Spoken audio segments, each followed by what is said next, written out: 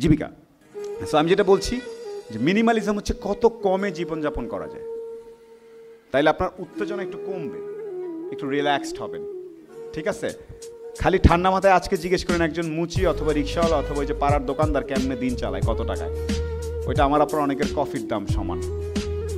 Right so coming back এগুলো তো অনেক লাইফের কথা বললাম, ভালো, মন্দ বাট স্কিল সেটস এই জিনিসটা ডিফারেন্ট আমার এমন কিছু লোক লাগবে, যেমন আমি এখন যদি যে সুন্দর করে স্পষ্ট ভাষায় কথা বলতে পারি, একটু বোঝে, ওই পাশ থেকে আন্তর্যোগাযোগ, ওই পাশ থেকে উত্তর দিলে কী বলতে, এরকম বুঝলে চাকরি দেওয়ার মতো বা কল সেন্টার থেকে শুরু করে ফ্রিল্যান্সিংয়ে হাজার হাজার চাকরি আছে। তারা নাই কেন লোকজন?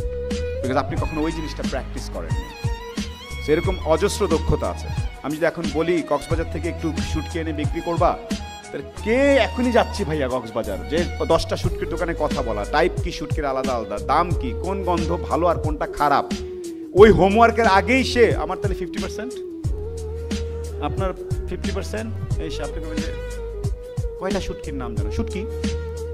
এই আরে, এমন কি ব্যবসা আমি? শুটকির ব্যবসা আমি করে দিচ্ছি। হবে না। আপনি প্রস্তাবটা দিলেন। আমি আমি একটু জানাচ্ছি আপনাকে, আমি একটু কাজ করে। তারপরে আপনি ওই খুঁজে দেখব উনি কই? পাইলাম না ভাই, আমি তো একটু কক্সবাজার। কেন? ওই যে আপনি শুটকির কথা বললেন, আমি একটু শুটকি আরও খুঁজে ঘুরতেছি। মাশাল্লাহ এই লোকটাই তো আমার লাগবো। আর প্রথম দিন আমার ফিফটি পার্সেন্ট লাগবে, আপনি শুটকি করব ফেসবুকে পোস্ট দিব সুগনবারে বাসায় শুটকি পাঠাবো, উনি শুটকির প্যাকেটটা খুলবে লাইভ করবে, অনেক অর্ডার আসবে। ভাই, চলেন, ব্যবসা করি।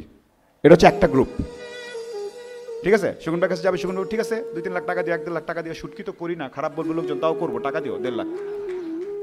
সুগুন ভাই, সুগুন ভাইটা নিয়ে যাবে।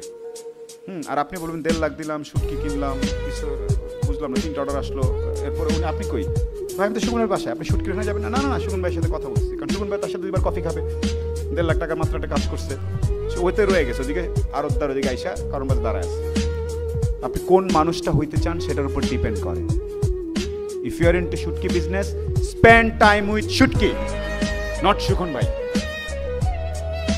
রাইট গায়ে গন্ধ থাকলে কেউ কিছু বললে মন খারাপ করার দরকার নাই। যদি গন্ধের কারণে উঠতে পারেন না, বাসে হাইটা যান।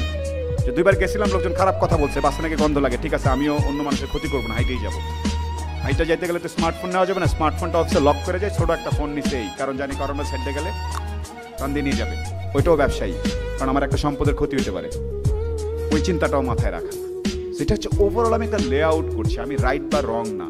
আমি জাস্ট আপনাদের সামনে লে আউট করছি, কেমন মানুষ হলে সফলতার কথা তো সৃষ্টিকর্তার উপর ডিপেন্ড করে। তিনি দিবেন কি দিবেন না, সেটা তো তার এখতিয়ারে। রাইট এখন আমার আমি তো এমনও বলতে পারি, আমি এত দারুণ কথা বলি, আমি কেন সংসদে না? আমি কেন ইউরোপিয়ান ইউনিয়নে না? আমি কেন জাতিসংঘে না? আমি তো বলতেই পারি এখন যে আমি এত দারুণ কথা বলি, আমাকে এখন দিলে আমি জাতিসংঘে সাধারণ অধিবেশন হচ্ছে। I can speak about S disease and other things properly আমি তো ওখানে না, আমি টিসিবিতে কারণ বাজার, একটু পরে গাড়ি ধরতে গেলে কাদা লাগে। তাই বলে কি আমি মন খারাপ করে বসে থাকব? আমি এখানে একই উত্তেজনায় কথা বলছি অ্যাজ ইফ আমার সামনে ইউরোপ, আমেরিকার একশো জন রাষ্ট্রপ্রধান। বিকজ আমি আমার কাজটাকে ভালোবাসি। আমি তো বলতেই পারতাম, টিসিবিতে আসছে, না, ঠিক আছে। হ্যাঁ জি, আপনারা বলেন আমি তো আপনাদেরকে অঙ্গভঙ্গিতে আমি বড়, আপনারা ছোট একটা ভাব করতে পারতাম। অলরেডি হচ্ছে, আপনারা টের পাচ্ছেন না। আমি কিন্তু কমান্ডিং ভয়েসে কথা বলতেছি। আমি অলরেডি আপনাদেরকে ছোট করতেছি এটা টের পান না আপনারা আমাকে তালি দিচ্ছেন। গত পঁয়ত্রিশ মিনিট ধরে হ্যাঁ? মনে হয়? রং না, রং শব্দ তাড়াতাড়ি করা যাবে না। এই যে আমি বললাম, আপনি আস্তে করে মেনে নিচ্ছেন সমস্যা নাই। কখনো এটা একপাক্ষিক আলোচনা হচ্ছে যেহেতু যেহেতু আপনারা আমাকে স্টেজে দিয়েছেন। একটু পরে আমরা দ্বিপাক্ষিক করব। এই যে এই যে ডিফারেন্সটা নিজেকে একদম উদাম করে প্রেজেন্ট করতে পারার ক্ষমতাটা, আমি জানি আমি কি করতেছি, এটা জানতে হবে। না জেনে করাটাই হচ্ছে মেইন ভুল। আপনার কি মনে হয় না আমি স্যুট পরে কোথাও স্টাইল মারি? মারবো? আজকে রাতেই মারবো। আজকে রাতে আয়মানের বিয়ে আছে, আমি ওখানে যাব। ওখানে ছবি দেখেন রাত্রেবেলা।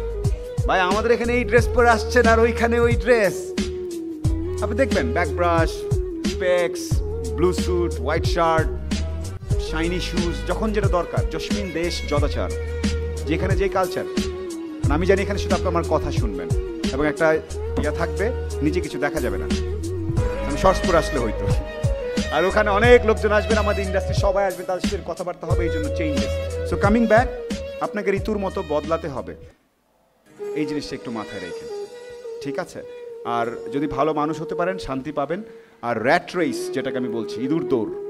ইঁদুর দৌড়ে কতটা অংশ নেবেন নেবেন না, সেটা আপনার উপর ডিপেন্ড করে। ঠিক আছে? So it's almost five fifty five let's open the forum if we have some solid questions let us have some fun আমরা কিছু, আমি আপনাদের কাছ থেকে কিছু শিখি। দু একটা প্রশ্ন কি পেতে পারি? ইয়েস স্যার সলিড বুদ্ধিদীপ্ত প্রশ্ন হতে হবে। কারণ আমি শুরুতেই বলেছিলাম, বাংলাদেশের অনেকের আন্তঃযোগাযোগ মানে কোন ফোরামে কি ধরনের কথা বলতে হবে, এটার ব্যাপারে কিন্তু ঘাটতি আছে। তাহলে যদি ঘাটতি মনে হয়, আমি কি বলতে পারব? আমি কিন্তু বলে দিব, আপনারটা ঘাটতি, বাদ দেন। তাহলে উত্তরটা হবে এইটা। ঠিক আছে?